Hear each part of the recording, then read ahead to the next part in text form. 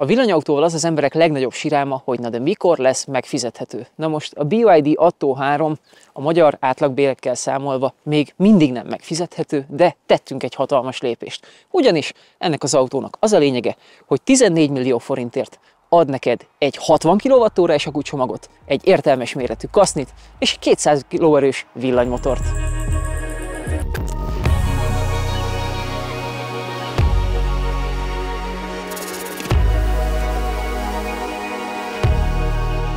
Sokszor mondják azt, hogy nagy múltú autógyártó, hogy egy autógyártónak múltja van, ami alapvetően tök jó dolog, hiszen van mire hivatkozni, versenysikerek, népszerű modellek, a popkultúrában betöltött szerep és hasonlók. Tehát, hogy ezzel azért el lehet adni egy autót. Viszont, hogyha egy autógyártónak múltja van, akkor attól a vevők úgy várnak valamit. A, a vevőkör megszokta, hogy milyen, és nem nagyon akar drámai változásokat látni. Emiatt a fejlesztésnek, mondjuk az ergonómiának vagy a beltérnek a fejlesztésének a nagy múlt, az sokszor bizony akadálya. Nézzetek meg egy Opelt. Opelt 60 éves német nyuggerek vesznek, és hát úgy is néz ki. Ezzel szemben itt van a BYD, ami most próbálkozik először az európai piacon, ezért megteheti, hogy bátran kísérleteznek. És nézzetek szét ebbe a beltérbe jól néz ki. Nem mondom, hogy csúcs, hogy mennyire zseniális, mert alapvetően nem az én ízlésvilágom, de olyan dolgokat látunk, amiket máshol nem láttunk. Nézzétek meg ezt a szellőző rostét, hogy hogy állítod. Van neki egy ilyen kis repülős mellékíze, így tudod a nyitász-zárás szabályozni egy ilyen jó kis gumírozott, finoman röccenő nagy potival. Van megint egy ilyen kis repülős gázkarra emlékeztető irányváltónk. Nagyon fontos, hogy nem akasztottak minket hasba mindenféle tapi felületekkel a kormányon. A kormányon gomb van, az érintő felület az érintő felület, itt megint nyomógombok vannak. Mondjuk azért az ülésütés is kaphatott volna, mert az gyűlölöm, hogy itt a menüben kell kitúrni, amikor reggel belülök a hideg autóba. Akárhogy is, ez nem egy drága anyagokból összerakott beltér, nem is lehet az, hiszen ez bevallottan egy olcsó autó.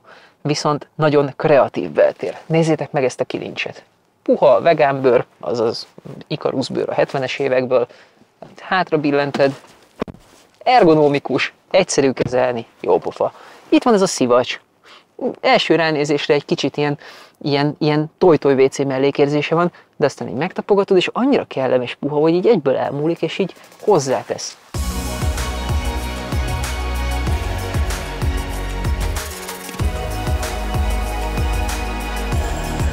Build your dreams. Építs fel az ármaidat. Na most európai fülnek ez a márkanév azért elég furcsán hangzik, de nem kell, hogy feltétlen bizalmat veszítsünk, a távol-keleten egész egyszerűen más ez a hozzáállás. Biztos neked is van otthon egy LG tévéd. Azt tudod miért LG?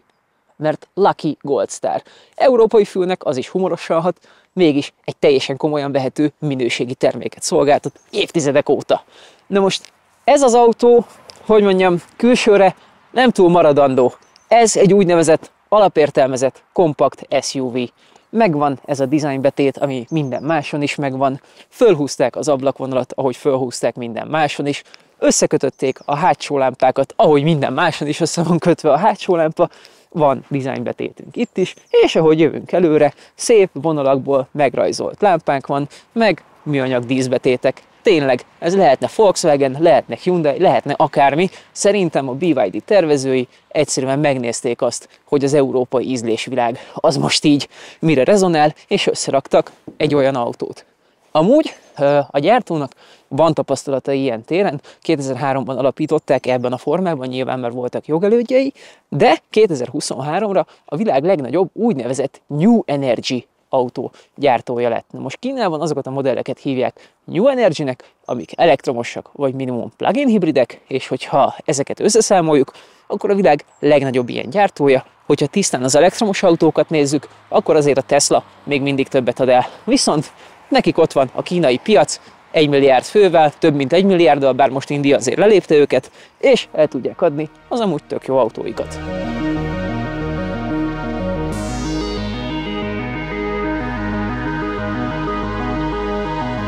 Ennek az autónak egy lítium vasfoszfát, vagyis LFP akkumulátora van, aminek van egy csomó-csomó előnye, hőtűrés, meg ilyenek, viszont ebben az autón egy úgynevezett Blade akkumulátor van, ez az ő fantázia nevük, ami azért jó, mert jól viseli a külső behatásokat. Még olyan tesztet is végeztek vele, hogy egész egyszerűen átbögték az akkumulátort cellát egy tűvel, és nem gyulladt ki.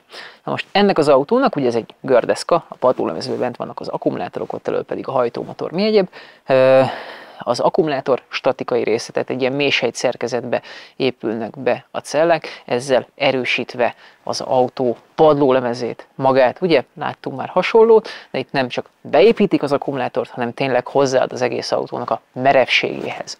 60 kWh használhatunk ki, ennyi a nettó kapacitása, és hát ugye a legérdekesebb kérdés, hogy na de mennyit megy el? Én amikor az imént kiszálltam belőle, 54%-nál még mutatott 200 megtehető kilométert. Nyilván volt ez 130 is ma reggel, amikor fölmentünk dobogókörre, de aztán lejöttünk, akkor nyilván eh, kiegyenlítődött. Abban biztos vagyok, hogy még ilyen téli körülmények között is városban legalább 350 kilométert meg lehet vele tenni. Autópályára nem volt vele alkalmam kimenni, de nagyjából ilyen 220-250 kilométert írnak rá 130-as tempóval. Egy ilyen 60 kWh akkumulátorral egy crossover ma nagyjából ennyit tud. Viszont a városi rohangálás ideális körülmények között értsd, amikor nem kell fűtened meg hasonlók, amúgy hőszivattyús, tehát kifejezetten gazdaságos, tehát hogy nyáron én ö, városi agglomerációs vagy országúti közlekedéssel nem látom lehetetlennek a 400-420 kilométert sem. Tehát ugye azt szoktuk beszélni, hogy nagyjából ez az a 400 kilométer, amikor egy autó a nagy többség számára használható lesz. Tudom, hogyha a villanyautók kerülnek szóba, akkor hirtelen mindenki török kamionos lesz, aki Anatólia és Stockholm között ingázik naponta kétszer, de azért mondjuk ki, 400 kilométerrel egy nap alatt el lehet autókázni. Töltés tekintetében nem akkora eresztés az Atto 3, 88 kw tudjuk megrúgni, ugye ennél már azért tudunk komolyabbakat is, viszont ez viszonylag sokáig kitartja. Egészen 45%-ig, ott aztán beesik 60 kW-ra, majd pedig egészen 85%-ig ezt is tartja. Tehát hiába nem tudjuk akkora állammal tölteni, mint mondjuk a riválisokat, viszont mivel tök jól kitartja ezt a töltési görbét, és viszonylag lassan esik és későn, ezért mégsem annyival lassabb feltölteni. 10 és 84 százalék között 44 perc.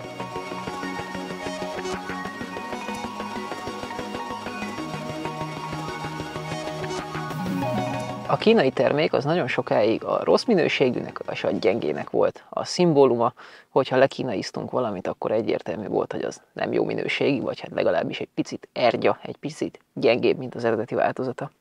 Na most sokat hallani arról tényleg, hogy, hogy tönkre fogja tenni az európai autóipart a kínai autók megjelenése. Én ebben amúgy nem hiszek. Például egészen tavalyig a Volkswagen sokkal több autót adott el Kínában, mint Európában. Hm de azért azt látni kell, hogy jó 30 évvel ezelőtt, amikor a világ nagy iparvállalati úgy döntöttek, hogy elviszik Kínába a termelést, mert ott olcsóbb, mert ott nem olyan szigorúak a környezetvédelmi normák, akkor azért gondolhattak volna arra, hogy ha oda viszik a know-how-t, a tudást, a, a gyártás technológiát, akkor azt előbb-utóbb a kínaiak meg fogják tanulni. És most 2023-ban és úgy tűnik, hogy megtanulták. A legnagyobb szívfájdalmam volt nekem, Mercedes szerető embernek beülni az EQE-be, meg az EQS-be, aminek mindene méltatlanul zörög. Tehát az ember megfogja a pohártartót, és azt hiszi, hogy a kezében marad. És most itt ülök 2023-ban, egy kínai autóban. És nézzétek!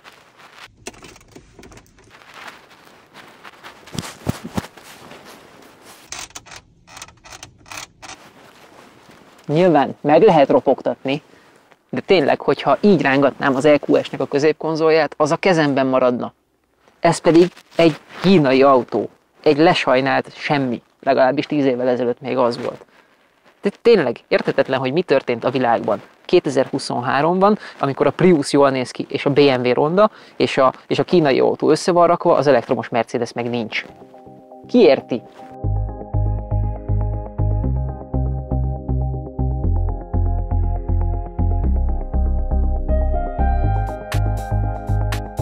Nézzétek, ez az autó annyira zöld, hogy amikor elindult a kamera, ide repült egy falevél. Kár, hogy tél van. Amúgy nekünk is mennyi eszünk van, nem? Hogy a tél egyik leghidegebb napján följöttünk ide dobogókőre forgatni, ahol hát lenne a városban van mínusz kettő, itt meg mínusz nyolc. Na de mindegy is. Ez itt az e-platform 3.0, így hívják a, a BYD-nak az elektromos autó platformját, Uh, és uh, én egy kicsit haragszom, mert hogy az autó tele van okos megoldásokkal, tele van jól kitalált dolgokkal, és itt látszik, hogy tulajdonképpen csak a slendriánság miatt nincs egy frunk. Ugye a frunkot sose azért szeretnénk, mert ne lenne elég nagy a hátsó csomagtartó, jelesül elég nagy, hanem azért, mert ha ide beraktak volna egy műanyag teknőt, akkor például az autónak a töltőit, meg egyéb kramoncait csak be lehetne ide hányni, csöpöghetne róla a víz, leolvadhatna róla a hó, és nem a csomagtartót cseszné össze. És nagyon jól látszik, hogy ugye itt van a villanymotor, ennek mellesleg van egy ilyen 300 Nm nyomaték, a 201 néhány lóereje, egy szinkronmotor, és hogy fölötte itt bőven elférne egy teknő, amit csak azért nem tettek ide, mert mert nem tudom miért, hát nézzétek meg, hogy mennyi hely van itt, hát ha nagyon akarnék, bele tudnék mászni a járműbe, de azért ezt európai gyártók is szeretik elkövetni, hogy tesznek az autó elejébe 200 liter semmit. Úgy a BMW.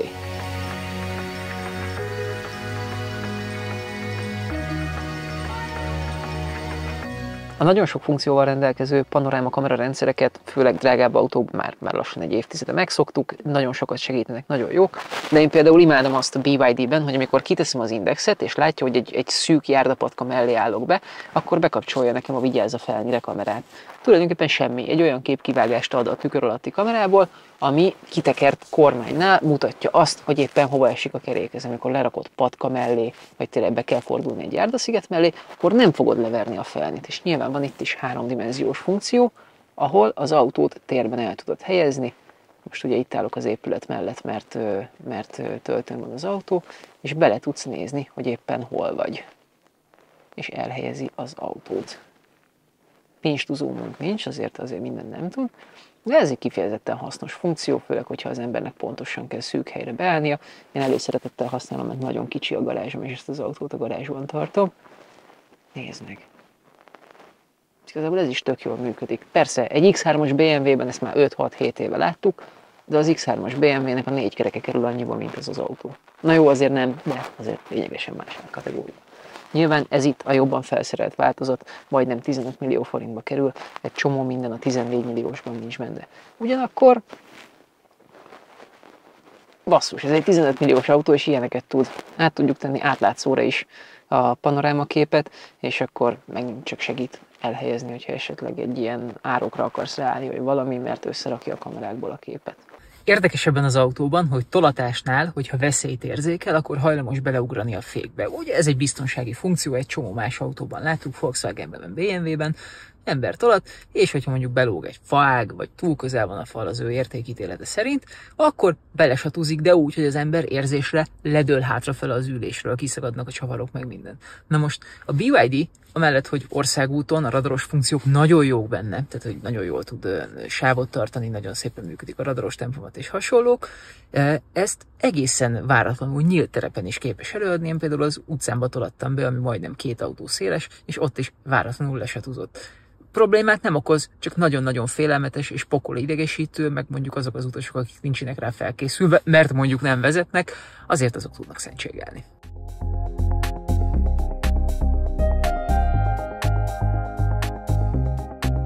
Vannak olyan autógyártók, akik már megtanultak autót gyártani, és megvannak a kis praktikumok, és vannak olyan autógyártók, akik nagyon-nagyon bizonyítani akarnak, de még kis apróságokat át kell emelniük az eszköztárukba ahhoz, hogy igazán jó autókat csináljanak. Most ez itt egy jó autó, de egy ilyen átemelendő apróság az az, hogy a csomagtérnyitó gomb az itt van lent a rendszámtáblánál, és a hátunk mögött kavargó légáramlatok, ahogy visszaszívják a dzsuvát, azok miatt bizony össze fogjuk cseszni a kezünket minden alkalommal, amikor nyitogatjuk a csomagtartót.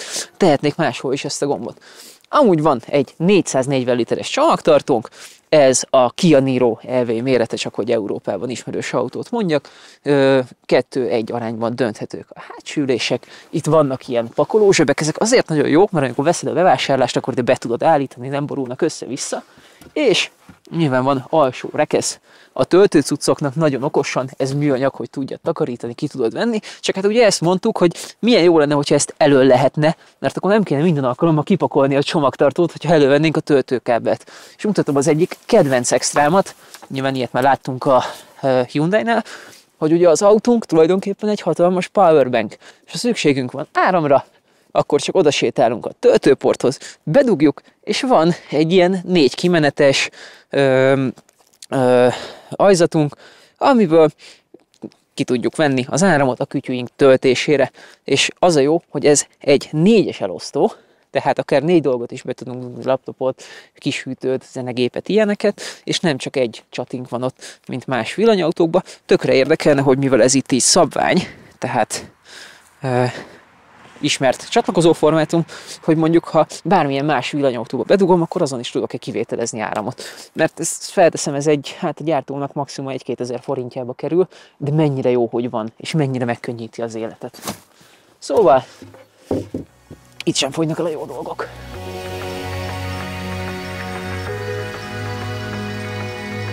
Nézzétek meg, ez itt egy ajtózseb, bele lehet tenni egy vizes kulacsot, vagy egy, vagy egy kisebb PET palackot, van egy csomagtérnyitó gomb és hasonlók, nem nagyon van rajta mit kitalálni. Viszont ahelyett, hogy végigborították volna itt műanyaggal, ahelyett azt mondták, hogy teszünk ide ilyen kis húrokat, mert így nagyobb tárgyakat is tudsz benne rögzíteni, anélkül, hogy elkezdenek táncolni.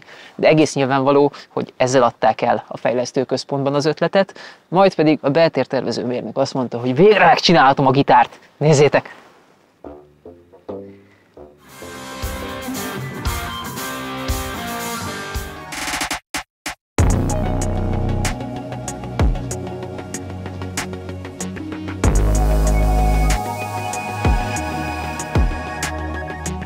Amúgy az attó az, az idő legkisebb ismert mértékegysége, ami egy nagyon hasznos tény, főleg annak tükrében, hogy ötletem sincs, hogy miért ez az autó neve. De amúgy a hármas meg azért tették mögé, mert ugye ez a platformnak a sorozatszáma, amiről már amúgy szó volt. Nagyon érdekes menni ezzel az autóval. Ugye a villanyautóban benne van az a jellegzetes érzés, hogy csak semmi különös. És ez is csak úgy semmi különös, de azért, hogyha az ember vele tölt néhány napot, azért ez az mégis kiderül. Az egyik például, hogy ez a futómű, ez így nem jó. Az a baj, hogy feszesnek nem elég feszes. Tehát, hogyha az ember néha kanyarogna vele egy jót, az, az egyszerűen ahhoz kevés. Ellenben puhának, kényelmesnek, ilyen hajókázósnak, na ahhoz, ahhoz viszont nem elég kényelmes, nem elég puha. Tehát beültek a két szék közé a földre, puhának és kényelmesnek nem puha és kényelmes, feszesnek és sportosnak nem feszes és sportos. És főleg amikor ilyen kisebb frekvenciájú úthibák vannak, tehát sok töredezettség egymás mögött, akkor érezni azt, hogy a kerék így menthetetlenül elpattog, és nem, nem az igazi. Nyilván 200 lóerő, 200-2-3 lóerő, 305-10 Nm, ami egy másfél tonnás autóban, vagy egy 1,2 tonnás autóban még egész vérpesdítő is lenne de ez egy 1700 kg fölötti autó, 1720 kg, ha minden jól megy, ami hát pont arra elég, hogy azért tisztességesen végre tudunk hajtani egy előzést, főleg így mondjuk 50-ről megindítva, de nem nagyon virgonc. Hát, hogy ez nem, nem arról szól, nem egy, nem egy sportos autó, és nincs meg az a jellegzetes villanyautós ülésbepréselés, amit ma már minden villanyautóban megszoktunk. Milyen érdekes nem, ahogy így eltolódnak a a, a számok a fejünkben, hogy egy 200 lóerős 300 Nm tekerő autót 10 éve még úgy hívtunk, hogy Vol GTI, ma meg egy alapértelmezett, olcsó hobbi terepjáró. De hát így változik a világ. Nyilván a villanyautóknál ez teljesen más, hogy jelenik meg, hiszen nem kell neki turbó, nem kell neki intercooler. Nézegettük reggel a forgatáson, látszik szépen az inverter alatt, hát nagyjából ekkora szinkromotor, ami ezt az autót ilyen teljesítménnyel viszi. Aztán ott van az, hogy a kormány, nem tudom, hogy vezettem már olyan autót, amiben ennyire döglött a kormány. Nyilvánvaló, ebben bármiféle érzékiséget, visszajelzést vagy intimitást keresni, ahogy egy sportautóban keressük, hát azt maximum azok az emberek szokták, akik ráförmednek a McDonald's-os kasszásra, hogy nem volt médium rare a hamburger. Ez egyszerűen nem arról szól. Ezzel így autózunk. Ha jobbra tekerem, jobbra megy, ha balra tekerem, balra megy. De tök jó a rásegítése, tök könnyű vele parkolni, mi egyéb. Ami viszont komolyabb probléma, hogy ez ugye egy dedikált elektromos platform, van neki hátsó kerékhajtású változata, ez az autó mégis elsőkerekes. És itt most megint nem a huligánkodás miatt hiányolom a hátsó kereket, hanem pont amiatt, hogy ez egy nyomatékos autó, ami ráadásul már nagyon alacsony sebességtartományban kuplung, rugdalás, váltogatás, meg minden egyéb nélkül le tudja adni a nyomatékát.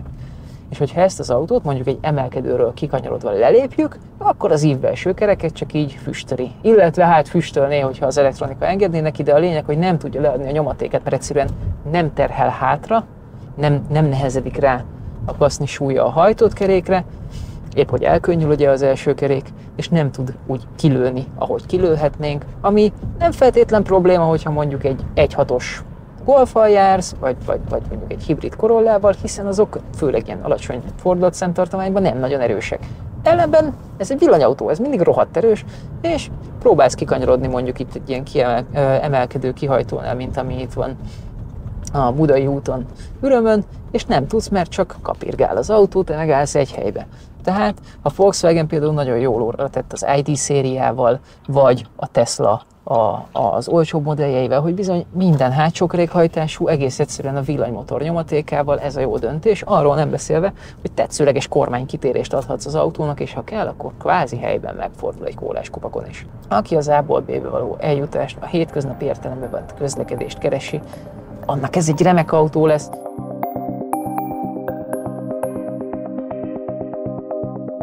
Orbitális parti trükk, mutatom, figyelj! Elforgatható a középső kijelző függőlegesbe, ami mellett nyilván lehet érveket hozni, mert biztos vannak olyan alkalmazások, amik így működnek igazán jól. Viszont két aggályom van. Az egyik az, hogy azért így már beletakar a látómezőbe. Tehát egy, egy egész konkrét holteret csinál, pedig én azért 180 centi vagyok, hogyha így vezetek, akkor az ott egy jelentékeny mértetű terület, amit nem látok. A másik problémám az, hogy mondjuk a, a felső harmadát már csak nyújtózkodva érem el a vezetőülésből, meg hát szerintem azért alapvetően ez esztétikusabb. Írjátok meg kommentbe, hogy ti szívetek szerint mégis hogy használnátok. Meg egy nagyon érdekes kérdés az, hogy ugye ebben az autóban nagyon jól működik a CarPlay, bár csak vezetékkel. Mondjuk arról megoszlanak a vélemények, hogy a CarPlay vezetékesen az igazi vagy vezeték nélkül, mert ugyan van nagyon jó kis indukciós töltőpad, de aha, a CarPlay például élből nem támogatja állómódban, nem is engedi elforgatni, és ha rádugod a telefont, akkor visszafordítja fekvőbe. Márpedig, hogyha az ember szeretne tükrözni, akkor, akkor nincs most választása. De hagyjuk most a CarPlay-t, mert aminket igazán érdekel, az a szoftver. Ennél a szoftvernél odafigyelnek az emberekre. Most például, amikor átvettem az autót, azt mondták, akkor éppen történt egy firmware frissítés, hogy ezt a mezőt, hogy 24 fok a belső hőmérséklet, ezt arrébb tették egy nagyjából másfél centivel, miért pedig azért, mert panaszkodtak rá emberek, hogy miközben vezetnek, a kormány miatt nem látják. Úgyhogy a következő frissítésnél arrébb került a mező, és így most már látszik. És ez egy gyors szoftver. Tehát őszintén meglepődtem azon, hogy nem akadozik, nem röcög, szépen bejön minden, ahogy akarunk. Most lehet a, azon vitatkozni, hogy milyen a felület, szerintem amúgy ízléses, de valószínűleg egy, egy Android alapú cuccról beszélünk. Én nem annyira látom ezt át, mert nem, nem használok androidos eszközöket, de, de, hogy, de hogy tök jó. Az autóban amúgy van egy SIM-kártya, az a SIM-kártya ez a mindenféle ilyen Spotify-nak és hasonlóknak az internet elérését szolgálja, viszont például szoftver frissíteni nem tud róla. Ehhez szükség van vagy egy telefonos hotspot csatlakozásra, vagy pedig egy wifi csatlakozásra, hogyha kiér a garázsba a wifi, akkor azzal tudjuk megoldani ezeket a dolgokat, meg ezzel tudunk letölteni ö, külsős appokat. Tehát az autóban lévő SIM-kártya az tényleg azt a minimális adatforgalmat szolgálja csak ki. Aztán, ami tök jó, hogy mondjuk tényleg, ha gyorsan le akarjuk olvasztani a szélvédőt, annak van fizikai gombja, a légkondi kapcsolónak is van fizikai gombja, de minden mást itt kell csinálnunk tapizással, aminek én annyira nem örülök. És nagyon kontrasztos az, hogy itt van előttünk ez a kijelző. Tűéles, nagyon szép, igényes, és itt van előttem a fedélzeti kijelző, ami pedig hát hogy mondjam, jellegében a BMW i3-aséra emlékeztet, csak még az i3-asénál is elavultabb a grafikája és a felbontása. Tehát főleg emellett a nagy kijelző mellett érezni azt, hogy mennyire elavult ez a, ez a régi. És nagyon érdekes, hogy a távol-keleti ember az sokkal inkább szeret gyerek maradni, mint az európai. Ugye biztos nektek is mondták a szüleitek, hogy ugyan nőjetek már föl. Szerintem ilyen 40-45 éves kor előtt nem nagyon szükséges felnőni, de még utána sem. Úgyhogy ebben az autóban például van karaoke mód, ami most egy olyan dolog, mint a fingópárna a Teslában, hogy enni nem kér, nem, nem lesz tőle az autó sem jobb, sem rosszabb, nem kötelező használni, ellenben simán lehet, hogy valaki egyszer nevet rajta egy jót, vagy kettőt, és akkor már megérte, hogy van. Tehát miért ne? Ugyanerre rezonál a, a gitáros, a, a gitáros hajtózseb. Ez egy, ez egy nagyon érdekes mm, találkozás a keleti életszemlélettel. Nagyon szimpatikus például, nincs sok zongoralak, mindenhol inkább olyat használtak, ami nem gyűjti az új lenyomatot. Nem tudok más mondani. Első európai autóként szerintem kifejezetten erős, még azzal együtt is, hogy vannak hibái. De a következő generációnál ezeket kigyomlálják és fejlesztenek, akkor, akkor azt gondolom, hogy tényleg van mitől tartani az európai gyártóknak. Habár az európai gyártóknak sem tiltotta meg senki, hogy rendes autót csináljanak. Nem tudom, ha egy Volkswagen ID3-mal hasonlítom össze, és még mondjuk az árát is figyelembe veszem, hát eszembe nem jutna ID3-at venni. Nincs sok választásunk, az alapmodell a Comfort, az 14 millió forint, ez pedig itt a fullos, a design, ez 14,8, 14 millió 820 ezer, egészen pontosan. Na de, most abból a szempontból, ahogy az elején beszéltük, tényleg sok pénz, hogy hát az átlag magyar fizetéshez viszonyítva. Viszont, hogyha azt nézzük, hogy mennyit kérnek a riválisokért, és hogy mennyit kérnek olyan autókért, amiben 60 kWh kapacitású akkumulátor van, akkor már azért messze nem rossz. Sőt, ha megnézem az extrákat és a szolgáltatásokat, amiket ez a jól felszerelt változat nyújt, hát az tényleg nagyon erős versenyző. Úgyhogy én azt mondom, erre már nem szabad úgy nézni, mint egy kínai termékre, vagy hát legalábbis, ahogy pejoratív értelemben gondolni szoktunk a kínai termékekre, hanem el kell menni kipróbálni, mert bizony ez itt most egy erős versenyző, és egyáltalán nem lehet lesöpörni az asztalról, hogyha az ember egy olcsó villanyautót keres.